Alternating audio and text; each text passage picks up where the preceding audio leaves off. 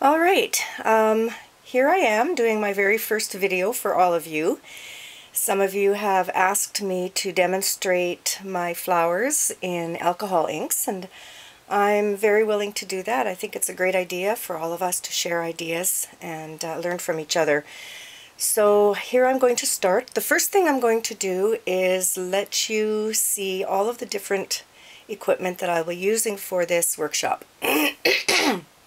The other thing is you're not going to see me simply because um, you want to get really close to the uh, surface that I'm using. Uh, my surface is about 13 inches by 10 inches and this is Yupo paper. So I love the Yupo paper, it's very smooth and when you don't like what you've done you can actually wipe it off. So let's get started on this project. Um, the first thing that I would like to mention to you is that um, I like to take some of the alcohol inks and I like to um, put them into these little bottles and I dilute it with 99% alcohol so that I get some lighter colors going on. The alcohol inks are very intense just by themselves so it's a really good idea to mix a whole bunch of um, diluted alcohol inks to give you lighter colors and, and it helps quite a bit with the process. Some of the um, alcohol inks I'm using today for you is the Copic alcohol inks. Copic actually has markers, but you can buy the inks to refill your markers. And I like to use these um, because they're alcohol based and they are, they're beautiful colors. So that's one of the brands I use. The other one I'll be using today is the Pinata colors and um, they look like this, Pinata. I know that's a little bit out of focus, but um, so some I'm using some pinata colors, some all of the sort of the pink lines of colors, and I also have some Adirondack colors here also that I'm using. One of the most important little mediums that I do use is the Pinata Claro Extender. Um, once I put some of my um, colors down and I want them to spread a little bit or extend them, this is really, really important. And by the way, I'm going to list all of these in my comments once you'll, you'll see them in the comments line, all of the different materials I'm using. The other item that I love to use is pure alcohol, and I put pure alcohol in a Holbein spritzer. I like the Holbein spritzers because they spritz unevenly. They don't have this consistent misty spray. They, they spritz really crazy, so you get those varieties of little bumps and textures that you need in the work. So there's the Holbein um, spritzer container with just 99% alcohol inks in it. The other item I like to have are brushes, a couple of brushes, just small ones, and some um, cotton swabs. Cotton swabs are very important. And I also have alcohol in this little container. This little container has sort of a needle on it and it squeezes. That way I can actually squeeze some of the um, alcohol right onto a swab and I can do some blending with that. So these are some of the materials I have. The other material, um, tool that I use, actually it's not really material, it's a tool, is um, Dust Blaster or Air Duster, canned air that you can buy just about anywhere where you can buy any kind of electronics. They carry this for your computers so you can dust off things. And um, a lot of people like to blow with a straw, but I, I get too dizzy, so I like to use these. And um, that's basically about all I need. The other one item also that I do use is the Copic alcohol markers. They give me some fine lines if I want some fine lines and fine work, so I have those also. So let's get started. Okay, the first thing I'm going to do is put down some grays. And I'm using uh, three different grays. I've got a warm gray, a semi-warm gray, and a cool gray. And these are mixed, um, diluted grays that I mixed. It's a good idea to mix your own. You just need a few drops of your alcohol inks into your um, into your alcohol. Um, test them to see how you like the tonal value. Once you've mixed it, you can always adjust it, add a little more alcohol if it's too dark, or add a little bit more um, of the pigment if it's too light. So I'm ready with this, and here we go. I have my spray can in one hand and I have my gray in the other and uh, I'm going to start doing this. So I start with a little drop and then I spray it like that. This is a little bit brown, it's pretty. And one of the things that I think is really important is drawing skills can be a huge asset here because you have to visualize the shapes that you're trying to make. If I'm doing a flower, you have to visualize petals and all of that kind of thing. And this is just sort of just giving me a background to this flower.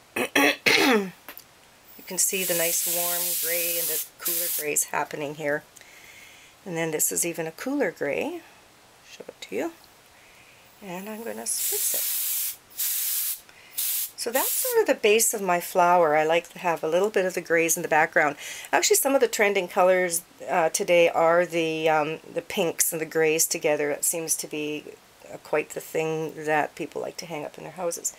Now what I'm going to be doing to this is I'm going to be um, putting down some of my diluted pinks. And I have two here. It's sort of a, a pinky color and then I have a sort of more of a reddish one so I'm going to put those down. Again always thinking in terms of petals.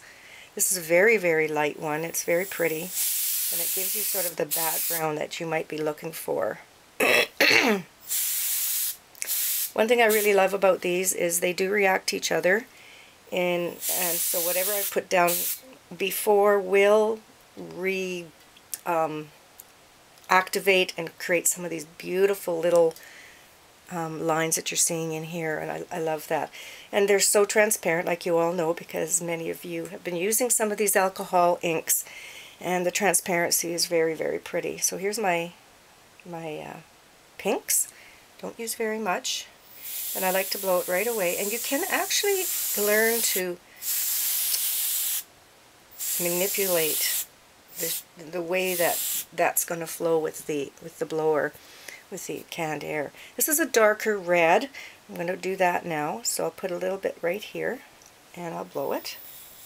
You can see that it's a little more intense. And then I'll do just a little tiny drop here. You want to vary your petals so that they don't all look exactly the same. You get that kind of an effect happening. I'm going to detach this one here. I'm going to turn this around and I'm going to blow it this way a little bit. I want to manipulate its direction somewhat. And this one too, just a bit like that. I think this is turning out okay. Excuse me. So those are all the colors I've used that were diluted. Now I'm going to go into the pure colors and I'm going to start with the Pinata um, Magenta.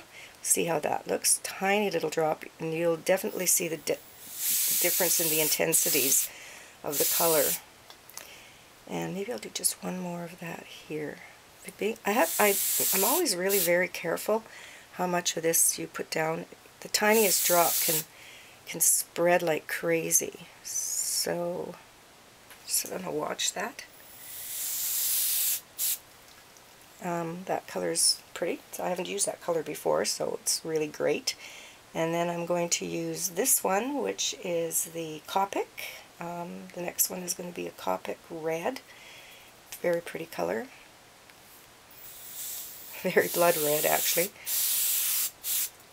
And away we go with this. Do three of that one. I'll travel the distance. It's good. And I'm going to also use this really, really dark one. I just love this one. It's very pretty. It's also Copic. I will list these on, you will actually find these all listed on this video. You can see something that's happened here which I really like. It's right there. It's turned very, very light and, and that's very pretty. Now, after I've kind of gotten the shape here that I want with those colors, I'm going to use something that's very important to me. It's the Pinata Claro Extender. And it, what it does is it, it helps to blend your colors. So I'm going to be really careful here. I want some of these areas right here. As you can see, this area here is really hard lined and I want to blend some of these areas out. You'll see one here, you're going to see one there, one there, and I'm going to see if I can blend those out a little bit. So I'm just going to add a drop of it in here, like that, and you will see what's going to happen, see what it does. I'm going to blow it back onto the ink, and I'm manipulating that to extend out so you get these beautiful little things happening here. It just, it really just extends, does exactly what it says. It's an extender. It extends the colors.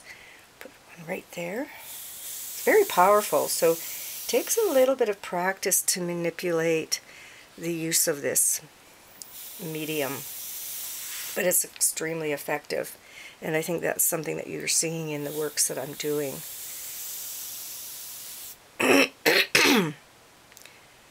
Again, takes, I've, I've done at least, I don't know, 20 or 30 of these before I really got the hang of what I was trying to do. So, you know, I do have some intent, and sometimes our intentions don't work out, but eventually, with practice and perseverance, your intentions can actually become successful.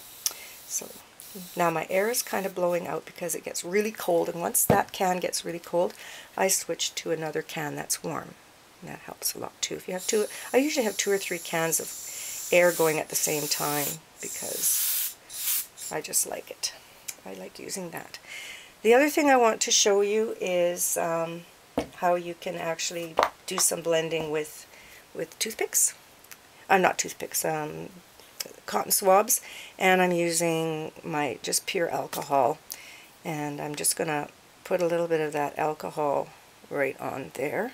You can see that. And I'm going to actually, I, I think you could be able to see this, I'm going to actually just show you how you can actually blend out some of your areas with the cotton swab to create some nice little um,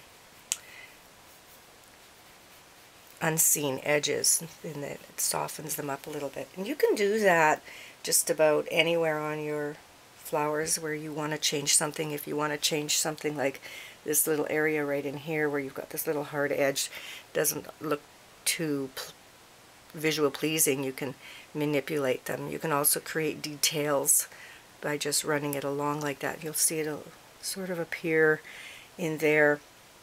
Uh, I dropped some of the alcohol in here and again, if you don't like those great big round spots, you can actually, with your um, cotton swab, you can blend them out a little bit like that. so you can manipulate it to some extent. Um, I like this dark one right in here. It's kind of pretty. I like what, where this is going, so I'm going to leave this. Then what I'm going to do is I'm going to take a, a Copic marker um, this it, These Copic markers come with one side um, with a wedge and the other side is a point and you can decide which ones you want. This is a very dark dark one. that's called blue-green and I'm going to use the wedge side to create this stem. And so I'm just going to paint this on with this marker, creating my little area where the flower is going to come out of and then my stem comes down and just follow it through like that. I'm going to put some of this in here. It's amazing how these colors all work together. You could hardly ever get mud. And then I'm going to use the Copic black marker. Put some black in here. Get some nice contrasts going on. Like the black, get these nice little areas. You can create some nice um, textures with this. And then I'm going to actually use a green. It's an Adirondack green. I'm going to just stick a little bit of the green in here. This is pure right out of the out of the um, container. This one is not, this green has not been uh, diluted. Um, with that, I can take my uh, take the cotton swab again and you can move this around. And I do have some black here. It's right here. Uh, just a minute. Let's see. Where did I put that black? I guess I didn't pull the black out. I'm, I'll just use the black marker, or the dark brown marker, actually, I should say. I really should have some black on here. Let's see if I can find some. I thought I pulled out a black. Um, okay. Nope. I think I'll just leave it. It's not a big deal. Um, so anyway, this is how far I've gotten with this. The last little item on this is where I take my spritzer. I use I like the Holbein spritzers as I said before. And there's just pure 99% alcohol or isopropyl or rubbing alcohol. I buy that at a pharmacy um, in the city. They You have to ask for it. Ours in Canada is behind the counter, so you have to ask for it. You have to be really careful with this. You don't want to spritz everywhere because like they say, a little makes a much nicer suggestion than a lot. So I'm just going to spritz it. Here I am. And I'm going to spritz on this side up quite high so you don't see me, but you'll see what's going to happen the minute I do one very uh, quick spritz. There you go. Now you can see that forming there, I think. So it's doing its thing. I probably only need the one. Um, if if it starts to um, dilute your colors that you've put down too much, just take your your air gun, your your canned air, and spray it. Um, spray some canned air on it, so then it, it actually stops the process pretty quick. I'm going to do one more spritz over on this side right here. Let's see, right there. I'm going to do it. So here we go. Let's see if I can get this close for you to see. Isn't it here? There we go. That was just a tiny little bit, and you can, I don't know if you can see that, and I hope that it's in focus for you. There it is. It's doing its thing. And basically, that's it. I hope that you have enjoyed this. And again, um, I hope you'll learn from it. Uh, have a great day, and maybe I will do this again if you really like what I have presented to you. Bye for now.